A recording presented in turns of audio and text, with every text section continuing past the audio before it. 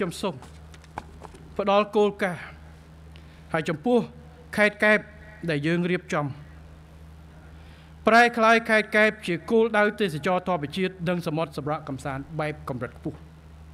ខ្ញុំសូមឲ្យអភិបាលរាជធានីខេត្តគណៈអភិបាលរាជធានីខេត្តគណៈកម្មការអភិវឌ្ឍគ្រប់គ្រងឆ្នេរពួកឥឡូវយើងរៀបចំផែនការមេ1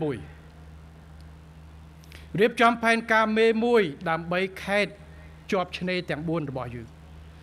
ក្នុងនោះយើងបានរៀបចំផែនការអភិវឌ្ឍខេត្តបរសៀអនុទៅជាខេត្តដែលមានសក្តានុពលពហុបំណងឥឡូវត្រូវភ្ជាប់ជាមួយខេត្ត3ទៀតដែលផែនការមេកំពុងកសាង សង្ឃឹមថានឹងចប់នៅក្នុងឆ្នាំ2024នេះផែនការមេយើងកសាងដើម្បីអីដើម្បីថែរក្សាតម្លៃ ទាញឲ្យបាននៅសក្តានុពលនៅកន្លែងទី1ទី1ឲ្យអស់លទ្ធភាពប៉ុន្តែមិនត្រឹមតែ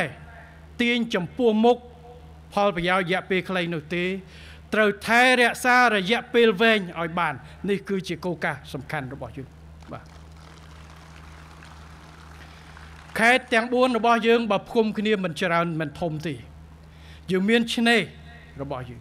យើងមានសក្តានុពលធ្វើជាកំពង់ផែ យើងមានសក្តានុពលសម្រាប់ទេសចរពហុបំណងយើងមានទេសចរផ្សេងផ្សេងការរៀបចំផែនការមេនេះគឺដើម្បីធានាយ៉ាងណាការអភិវឌ្ឍយើងមានផែនការច្បាស់លាស់ធានាកុំឲ្យខេត្តទាំង4គឺជាខេត្តប្រកួតប្រជែងគ្នាប៉ុន្តែខេត្តទៅជាខេត្តដែលគ្រប់គ្រងគ្នាទៅវិញទៅមកដើម្បីយើងបង្កើតខេត្តឆ្នេរសមុទ្ររបស់យើង ទៅជាខេត្ត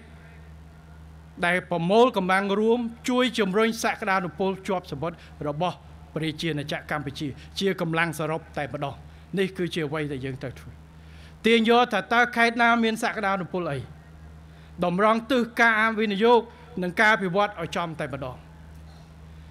ខេត្តណា មានសក្តានុពលអីយើងធ្វើបែបនេះហើយរៀបចំផែនការមេដើម្បីជួយទៅដល់ការប្រវត្តិនោះតែម្ដងនិយាយដោយឡែកខេត្តកែប ដែលមានសក្តានុពលធម្មជាតិទេសចរធម្មជាតិក៏ដូចជាមានសក្តានុពលទៅលើការពិវត្តទេសចរនិងផលិតនៅផលិតផលទេសចរមួយចំនួនទៀតត្រូវគិតគូរដើម្បីធ្វើយ៉ាងណាការពិវត្តរបស់យើងដូចខ្ញុំចេះធានាឲ្យបាននៅតម្លៃរយៈពេលវែង ជាជាងឲ្យតម្លៃទៅលើផលចំណេញរយៈពេលខ្លីព្រោះបទពិសោធន៍នៅលើប្រទេសច្រើនណាស់